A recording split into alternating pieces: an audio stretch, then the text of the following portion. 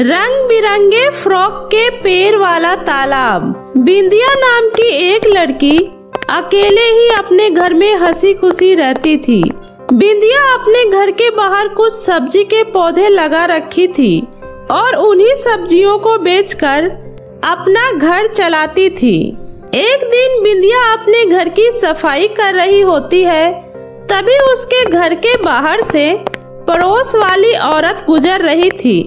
तभी वह औरत बिंदिया को देखकर अपने मन में सोचती है, आज मेरे घर पे इतने सारे काम हैं और अनाज की बोरी भी बाहर ही रखी है। मेरी बेटी तो अपने दोस्त के साथ बाहर घूमने गई है, इसलिए आज का काम मैं इसी से करवा लेती हूँ। वैसे भी ये तो बहुत ही बेवकूफ़ लड़की है, कभी किसी का काम करने से मना नहीं करती है। यह सोचकर वह औरत बिंदिया के घर के अंदर जाती है और बिंदिया से बोलती है, बिंदिया बेटी, क्या कर रही हो? कुछ नहीं काकी, बस घर की सफ़ाई कर रही हूँ। बेटी, दरअसल आज मेरी तबीयत ठीक नहीं लग रही है और मेरी बेटी पढ़ाई करने के लिए कॉलेज गई हुई है और मेरे घर के बाहर अनाज की कुछ बोरियाँ रखी हुई है तो तू मेरे कुछ अनाज की बोरी उठाकर घर के अंदर रख दे। ठीक है काकी, मैं घर के काम खत्म करके आती हूँ। उसके बाद मैं आपका काम कर दूँगी। इस तरह वह औरत बिंदिया से झूठ बोलकर अपना काम निकलवा लेती है।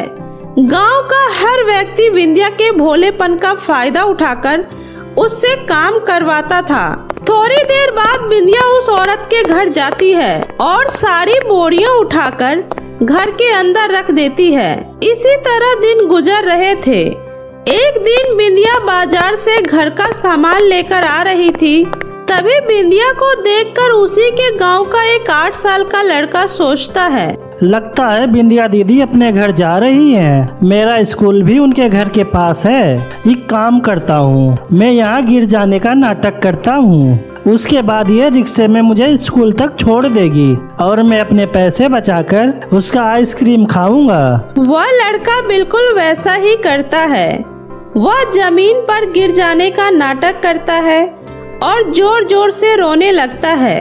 हे भगवान गिरने की वजह से मेरे पैरों में बहुत ज़ोर दर्द हो रही है। अब मैं स्कूल कैसे जाऊँगा? कोई मेरी मदद करो। उस लड़के को रोता देखकर बिंदिया उसके पास आती है। क्या हुआ छोटू?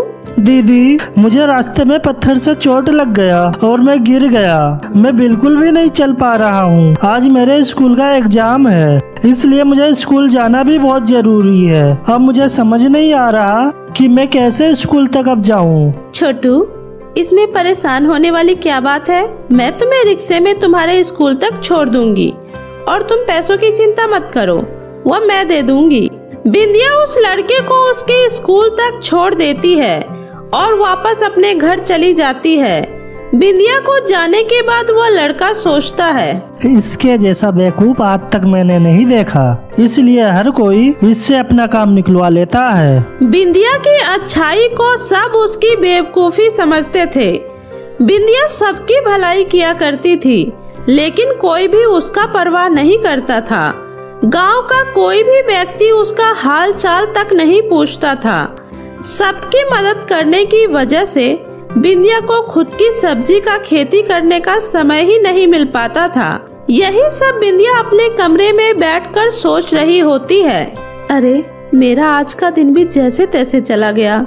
कल मुझे अपने छोटे से खेत में काम करना ही होगा। वैसे भी बारिश होने वाली है और मैं जल्दी ही अगर अपना काम शुरू नहीं की तो बारिश में मेरी खेतों की तहस नहस हो जाएगी। अगर ऐसा ही चलता रहा तो फिर मैं अपना गुजारा कैसे कर पाऊँगी? कल चाहे कुछ भी हो जाए, मुझे खेतों का काम शुरू करना ही होगा। यह सब सोचकर बिंदिया सो जाती है। अगले दिन बिंदिया सोकर उठी भी नहीं थी। उससे पहले ही बहुत जोरों की बारिश होने लगती है। थोड़ी देर बाद बिंदिया उठती है और बारिश होता देखती है। यह सब देखकर बिंदिया बहुत ही परेशान हो जाती है। अरे, आज तो बहुत जोरों की बारिश हो रही है। आज भी मैं अपना काम शुरू नहीं कर पाऊँगी। इतनी तेज बारिश हो रही है। पता नहीं कब तक बारिश रुकेगी। यह सब देखकर बिंदिया बहुत उदास हो जाती है। कई दिनों तक ऐसे ही बारिश होती रहती है, जिसकी वजह से बिंदिया के छोटे से सब्जियों के खेत में बहुत सारा पानी जमा हो जाता है। अगली सुबह जब बारिश रुकती है, तब बिंदिया घर से बाहर निकलती है और वह देखती है कि उसकी सब्ज़ी के पौधे बारिश की वजह से पूरी तरह से तहस नहस हो गई है। यह सब देखकर बिंदिया बहुत रोने लगती है। ये सब क्या हो गया? अब मैं अपना गुजारा कैसे करूँगी? सब कुछ ठीक होने में तो तीन से चार महीना लग जाएगा। जब तक मैं अपना गुजारा कैसे करूँगी? घर का राशन भी खत्म होने वाला है, और अब तो मेरे पास बिल्कुल भी पैसे नहीं बचे हैं। ऐसे ही एक हफ़्ता बीत जाता है, और बिंदिया को समझ नहीं आ रहा था कि अब वो क्या करे। यहाँ तक कि घर का राशन भी खत्म हो गया था, और उसके पास बिल्कुल भी पैसे नहीं बचे थे। राशन खत्म हो गया है। और मेरे पास पैसे भी नहीं हैं। जब तक पड़ोस वाली काकी से राशन के लिए कुछ पैसे मांग लाती हूँ, मेरे पास जब होगा, तब मैं उन्हें वापस कर दूँगी। यह सब सोचकर बिंदिया पड़ोस वाली काकी के घर जाती है और उनसे बोलती है, काकी, आपको तो पता है ना, बारिश की वजह से मेरा बहुत नुकसान हो गया है। अभी मेरे पास बिल्कुल भी पैसे नहीं हैं। और घर में खाने को राशन भी नहीं है। इसलिए आप मुझे कुछ पैसे दे दीजिए। जब मेरे पास पैसे हो जाएँगे, तब मैं आपको लौटा दूँगी। अरे बेटी, मेरे पास जो भी पैसे थे, उसे मैं किसी ज़रूरत के काम में लगा दी हूँ। और बाकी के पैसे तो बैंक में रखे हुए हैं। तुम्हें तो पता ही है, यहाँ से बैंक कितना दूर है, और मेरी तबीयत भी खराब है। फिर तो मैं बैंक में नहीं जा सकती। इसलिए तुम किसी और से जाकर पैसे मांग लो। मेरे पास अभी पैसे नहीं हैं। यह सुनकर बिंदिया वहाँ से आ जाती है। उसके बाद बिंदिया उस औरत के पास जाती है, जिसने उससे अनाज की बोरिया उठवाई थी। बिंदिया उस औरत से पैसे के लिए कहती है, तब वो औरत कहती है, अरे बिंदिया बेटा, मेरे हाथों में तो पैसे रुकते ही नहीं है। पैसे का तो सारा हिसाब किताब मेरे पति ही रखते हैं। तुझे तो मेरे घर के बारे में पता ही है। तेरे से कुछ छुपा थोड़ी ना है बेटा। मुझे माफ़ करना, मैं तुम्हें पैसे नहीं दे पाऊँगी। इसी तरह हर कोई बिंदिया को मदद करने से मना कर देते हैं। उदास होकर बिंदिया एक तालाब के किनारे जाकर बैठ जाती है और बोलती है, मैं तो सबकी मदद करती हूँ, लेकिन आज मुझे पैसों की ज़रूरत है। तो किसी ने मेरी जरा सी भी मदद नहीं की। लेकिन कोई बात नहीं एक न एक दिन सब कुछ ठीक हो ही जाएगा।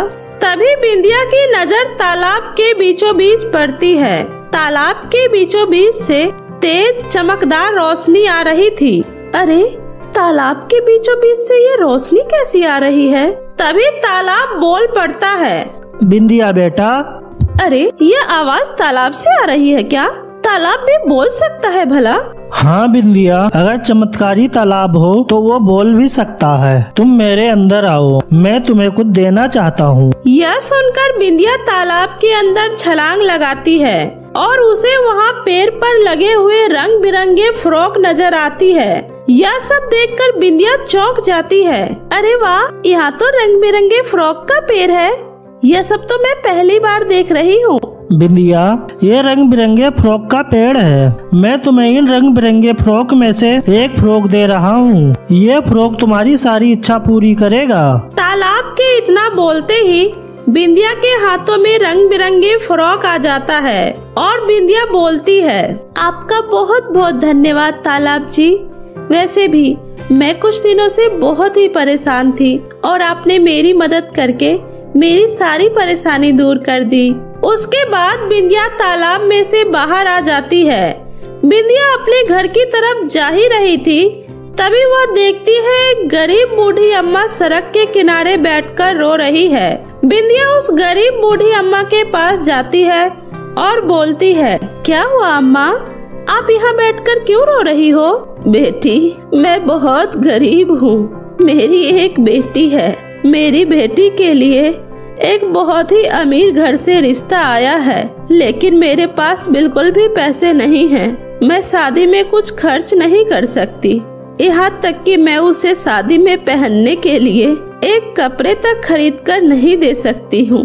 अगर यह रिश्ता मेरे हाथ से निकल गया तो सारी ज़िंदगी मेरी बेटी रोती रहेगी। बिंदिया को उस गरीब बूढ़ी अम्मा पर बहुत ही तरस आता है और वह अपना जादुई रंग बिरंगा फ्रॉक उस बूढ़ी अम्मा को दे देती है। अम्मा, आप यह फ्रॉक रख लीजिए।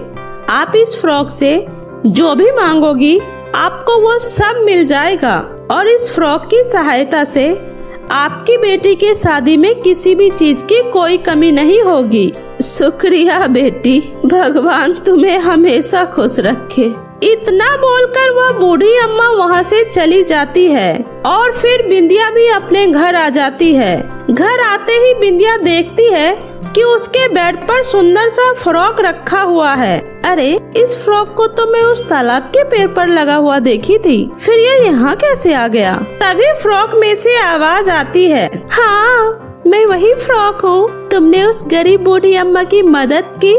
इसलिए वो चमत्कारी तालाब ने मुझे तुम्हारी मदद करने के लिए भेज दिया है। यह सुनकर बिंदिया बहुत ही खुश होती है।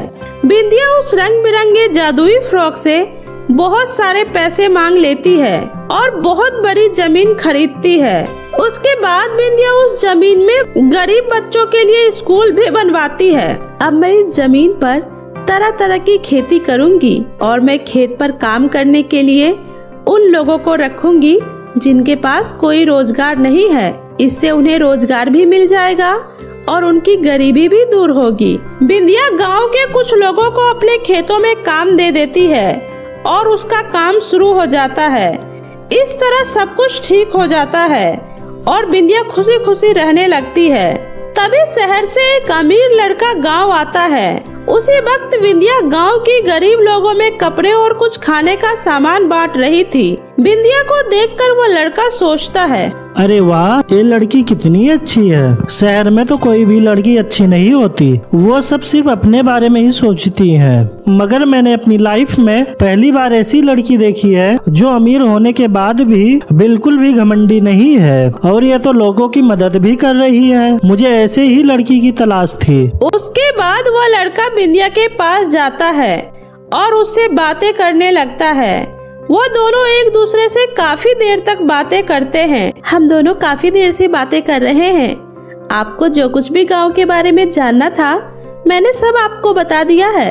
अब मैं चलती हूँ। हम दोनों एक दूसरे से इतनी देर बातें किए और अब तक हम दोस्त भी बन गए हैं। तो क्या आप मुझे अपना फ़ोन नंबर दे सकती हो? बिंदिया अपना फ़ोन नंबर उस लड़के को दे देती है। उसके बाद से दोनों फ़ोन पर लंबी लंबी बातें करने लग जाते हैं। और कहीं न कहीं दोनों को एक दूसरे से प्यार हो जाता है। मैं तुमसे शादी करने के लिए तैयार हूँ लेकिन तुम्हारे घर वाले मुझे स्वीकार तो करेंगे ना? बिंदिया उन्हें मैं पहले ही तुम्हारे बारे में बता चुका हूँ और उन सबको भी तुम बहुत पसंद हो। और अब हम अगले महीने ही धूमधाम से शादी करेंगे। उसके बाद बहुत ही धूमधाम से बिंदिया की शादी हो जाती है और फिर दोनों एक साथ उसी गाँव में खुशी खुशी रहने लग जाते हैं। सौतेली माँ और जादुई लहंगों का जादू। सोनपुर गाँव में दीनदयाल अपनी बेटी गौरी के साथ रहता था। गौरी जब सात वर्ष की थी, तभी उसकी माँ का देहांत एक गंभीर बीमारी की वजह से हो गया था। माँ की मृत्यु के बाद गौरी एकदम अकेली हो गई थी। वह हर वक्त अपनी माँ को याद करके रोया करती थी। दीनदयाल अपनी बेटी की देखभाल के लिए कावेरी नाम की महिला से दूसरी शादी कर लेता है। कावेरी की पहले से ही एक बेटी होती है, चंचल। कावेरी ने दीनदयाल से शादी सिर्फ़ और सिर्फ़ उसकी दौलत के लिए किया था। देखो कावेरी, मैंने तुमसे शादी सिर्फ़ अपनी बेटी की देखभाल करने के लिए किया है। तो तुम उसे माँ की कमी कभी महसूस मत होने देना। मैंने तुम्हारे लिए अपनी आधी प्रॉपर्टी तुम्हारे नाम कर दी है, जिससे तुम्हें कभी भी किसी तरह की परेशानी नहीं होगी। जी, ये सब करने की क्या ज़रूरत थी? आज से कावेरी भी मेरी बेटी चंचल की तरह ही है। मैं आपसे वादा करती हूँ मैं गौरी का बहुत अच्छे से ख्याल रखूँगी। मुझे भी तुमसे यही उम्मीद है। इतना बोलकर दीनदयाल वहाँ से चला जाता है। अब तो बस देखते जाओ कैसे मैं तुम दोनों बाप बेटी को इस घर से निकालकर बाहर फेंकती हूँ? मैं कोई पागल नहीं हूँ जो मुफ़्त में यहाँ तुम दोनों बाप बेटी की सेवा करूँगी। मैं तो यहाँ सिर्फ़ तुम्हारे दौलत के लिए आई हूँ। उस दिन से कावेरी दीनदयाल के सामने तो गौरी को प्यार करने का दिखावा करती और उसके जाते ही गौरी से घर का सारा काम करवाया करती थी। गौरी बहुत ही सीधी और संस्कारी लड़की थी। इसलिए वह बिना कुछ बोले सब कुछ चुपचाप सहती रहती थी। वहीं चंचल अपनी माँ के लाड प्यार की वजह से कुछ ज़्यादा ही बिगड़ गई थी। वह पूरे दिन शॉपिंग करती क्लब जाती और अपने आवारा दोस्तों के साथ घूमा करती थी। वहीं गौरी पूरे दिन घर के कामों में लगी रहती थी। एक दिन गौरी किचन में बर्तन धो रही थी, तभी अचानक से दीनदयाल घर आ जाता है और अपनी बेटी को इस तरह काम करता देख वह गुस्से से कावेरी के पास जाता है और बोलता है, कावेरी मैं क्या देख रहा हूँ? मेरी बेटी गोरी बर्तन साफ़ कर रही है और तुम यहाँ आराम से बैठकर टीवी देख रही हो। क्या मैंने तुमसे शादी इसी दिन के लिए किया था? कि तुम मेरी बेटी से घर का सारा काम करवाओ?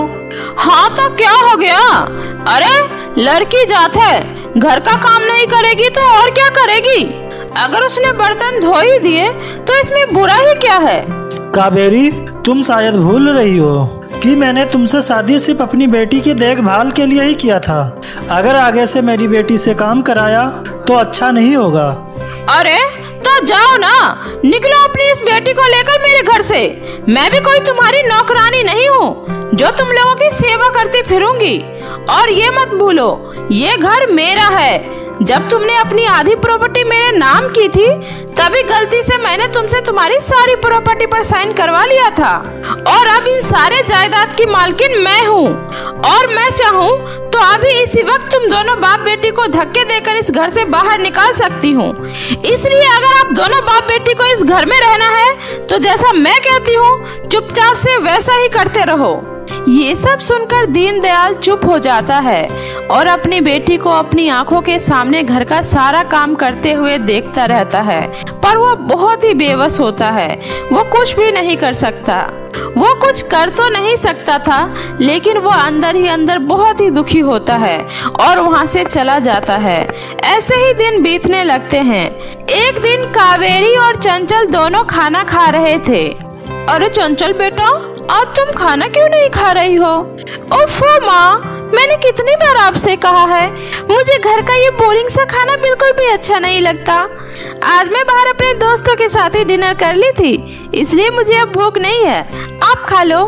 तभी गौरी वहाँ आती है और बोलती है, माँ, रसोई में थोड़ा भी खाना नहीं है और मैंने आज सुबह से कुछ भी नहीं खाया।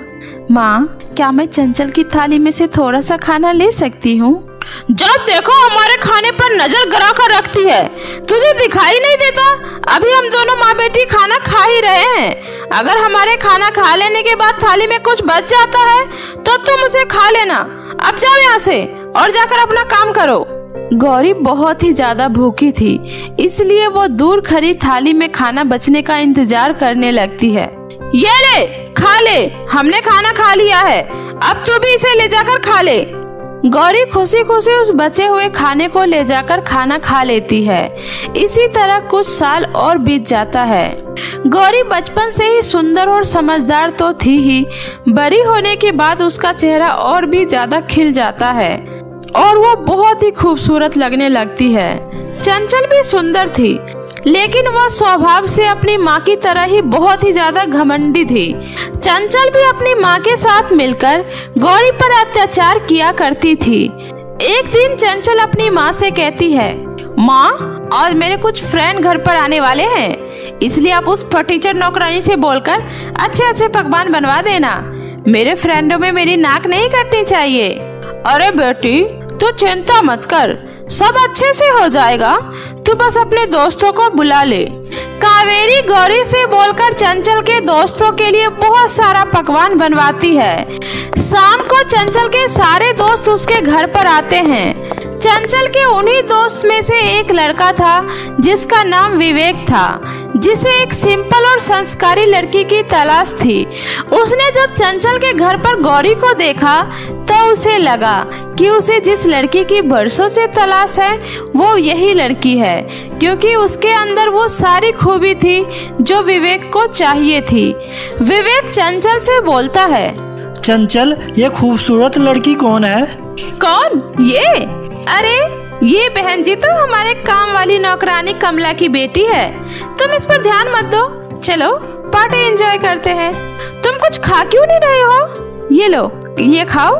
वो सिट यार, पहली बार कोई लड़की पसंद आई, वो भी काम वाली की बेटी निकली।